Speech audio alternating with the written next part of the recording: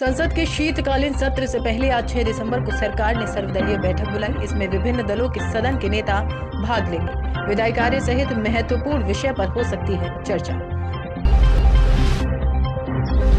कर्मचारियों के लिए बड़ी खबर, सरकार के इस फैसले से पेंशन और सैलरी में होगा बम्पर इजाफा।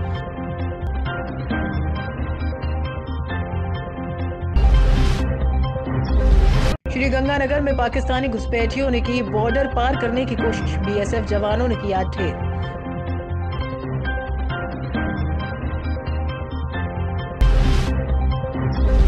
कोलंबिया में भूस्खलन के कारण बस खाई में गिरी चौंतीस की मौत।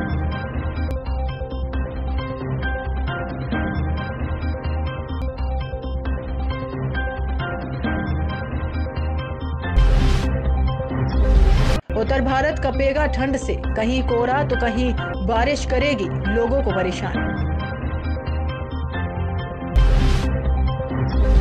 कांग्रेस अध्यक्ष बनने के बाद मल्लिकार्जुन खड़गे एक्शन में, राजस्थान, छत्तीसगढ़ और हरियाणा में बदले प्रभारी।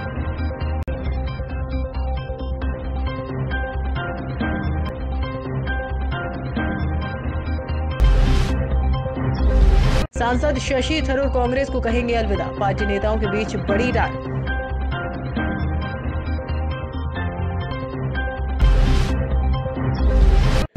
बाबरी विध्वंस की वर्षी पर अयोध्या में हाई अलर्ट। मथुरा में कड़ी सुरक्षा के बीच ड्रोन से निगरानी, चप्पे चप्पे पर पुलिस तैनात।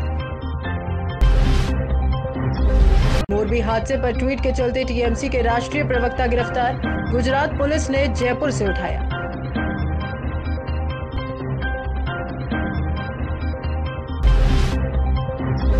मदन मोहन झा की छुट्टी, अखिलेश सिंह को मिली कांग्रेस की कमान, बने प्रदेश अध्यक्ष।